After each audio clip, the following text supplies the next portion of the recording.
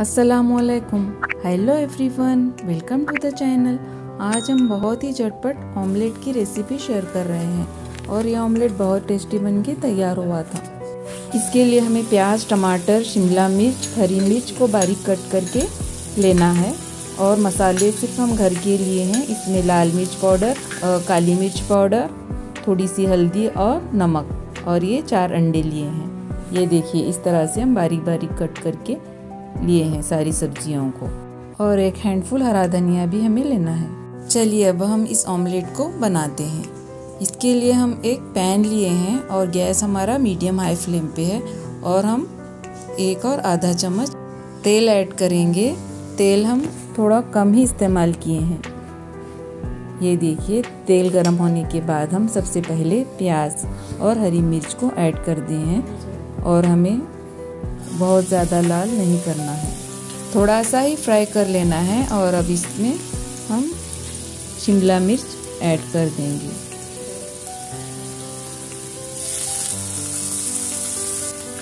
और मिक्स कर लेंगे। टमाटर हम अभी ऐड नहीं किए हैं। थोड़ा सा ये फ्राई होने के बाद हम ऐड कर देंगे और दूसरी साइड अब हम ये अंडों को फेंट कर ले रहे हैं। ये देखिए इस तरह से। और मिक्स कर लेंगे और उसी में हम मसाले ऐड कर देंगे। लाल मिर्च, नमक, हल्दी और काली मिर्च पाउडर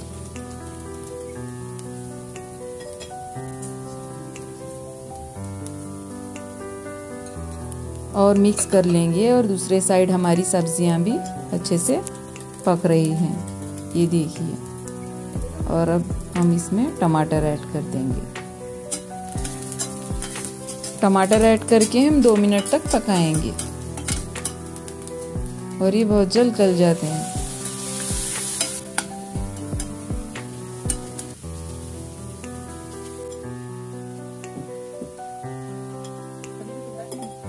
ये देखिए, बहुत ही अच्छे से सब्ज़ियाँ पक रही हैं। और अब हम इसमें वो अंडे ऐड कर देंगे। अंडे के बैटर को ऐड कर देंगे।